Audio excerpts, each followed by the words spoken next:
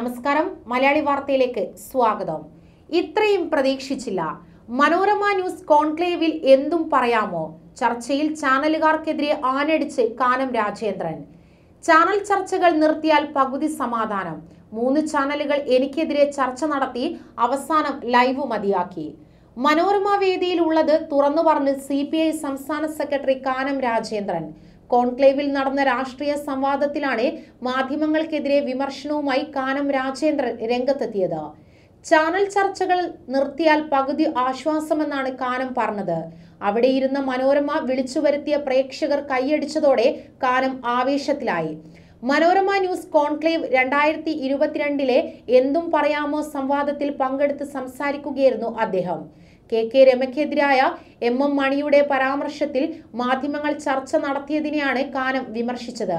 സ്പീക്കറാണ് അന്തിമ തീരുമാനം എടുക്കേണ്ടതെന്ന് താൻ പറഞ്ഞു. ഇതിന്റെ പേരിൽ മൂന്ന് ചാനലുകൾ തനിക്കെതിരെ ചർച്ച നടത്തി ഒടുവിൽ താൻ പറഞ്ഞത് ശരിയായെന്നും കാനം കൂട്ടിച്ചേർത്തു. ഭരണകക്ഷിയുടെ ഭാഗമായി നിൽക്കുമ്പോൾ വിയോജിപ്പുകൾ ഉണ്ടായാൽ മുന്നണികൾക്കുള്ളിലാണ് പ്രകടിപ്പിക്കുക. പ്രതിപക്ഷം പറയുന്നതിനെല്ലാം അവർക്കൊപ്പം നിന്ന് സർക്കാരിനെ വിമർശിക്കുക സി നയമല്ല. എൽ ഡി എഫിലെ പ്രധാന ഘടകകക്ഷി എന്നുള്ള നിലയിൽ തിരുത്തേണ്ട കാര്യങ്ങൾ സി പി ഐ മുന്നണിക്കുള്ളിലാണ് സംസാരിക്കുക. അത് നടത്താൻ സാധിക്കാതെ വന്നാൽ പരസ്യമായി പറഞ്ഞിട്ടുണ്ടെന്നും കാനം പറഞ്ഞു. സൃഷ്ടിപരമായ വിമർശനം നടത്തേണ്ടതിന് പകരം സർക്കാർ ചെയ്യുന്നതിനെയെല്ലാം എതിർക്കുക എന്ന ഒറ്റ നയമാണ് പ്രതിപക്ഷം നിലവിൽ ചെയ്യുന്നത്. ഇത് ശരിയായ സ്ഥിതിയല്ലെന്നും ഇതിലൂടെ നെഗറ്റീവായ രാഷ്ട്രീയമാണ് പുറത്തേക്ക് പ്രകടമാകുന്നതെന്നും കാനം രാജേന്ദ്രൻ ചൂണ്ടിക്കാട്ടി. കാനവും പ്രതിപക്ഷ നേതാവ് വി. ഡി. സതീശനും കേന്ദ്രമന്ത്രി വി. മുരളീധരനും ചാനലുകൾക്കെതിരെ കത്തിക്കയറിയപ്പോൾ മനോരമ ന്യൂസ് ലൈവ് നിർത്തി പരസ്യത്തിലേക്ക് പോയി. അതേസമയം രാജ്യത്തെ വിവിധ സംസ്കാരങ്ങളെയും കാഴ്ചപ്പാടുകളെയും തള്ളിക്കളഞ്ഞ് ഏകശിലാ സംസ്കാരം അടിച്ചേൽപ്പിക്കാനുള്ള ശ്രമങ്ങളിൽ മുഖ്യമന്ത്രി പിണറായി വിജയനും തമിഴ്നാട് മുഖ്യമന്ത്രി എം കെ സ്റ്റാലിനും കോൺക്ലേവിൽ കടുത്ത ആശങ്ക പ്രകടിപ്പിച്ചു. മതമുള്ളവർക്കും ഇല്ലാത്തവർക്കും പൗരത്വം അനുവദിക്കപ്പെട്ടത് വൈവിധ്യങ്ങളെ ഉൾക്കൊള്ളുകയെന്നുള്ള വിശാല കാഴ്ചപ്പാടിലാണെന്ന് പിണറായി വിജയൻ പറഞ്ഞു. എന്നാൽ ഇന്ന് വൈവിധ്യങ്ങളെ തള്ളിക്കളയുകയെന്നുള്ള പ്രതിലോമകരമായ നിലപാടിലേക്ക് രാജ്യം എത്തിപ്പെട്ടിരിക്കുന്നു.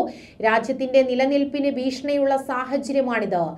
മത നിരപേക്ഷമല്ലാത്ത രാജ്യങ്ങൾ വംശീയതയായാലും വർഗീയതയായാലും ഭിന്നിച്ച് ചേരിതിരിഞ്ഞ് നശിപ്പിക്കും.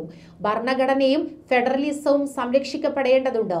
നിലവിലെ ഇന്ത്യൻ സാഹചര്യങ്ങളിൽ ഭരണഘടനയിൽ ഇല്ലാതെ സ്വാതന്ത്ര്യമില്ല. ജനാധിപത്യവും ഫെഡറലിസവും മതനിരപേക്ഷതയുമില്ലാതെ രാജ്യത്തിന് മുന്നോട്ടു പോകാനാവില്ലെന്നും അദ്ദേഹം പറഞ്ഞു.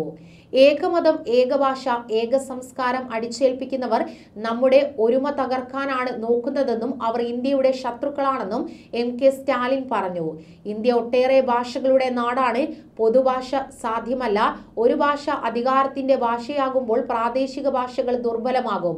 ഒരു സംസ്കാരമല്ല ഇന്ത്യയിൽ ഓരോ സംസ്ഥാനവും വ്യത്യസ്തമാണെന്നും സ്റ്റാലിൻ പറഞ്ഞു.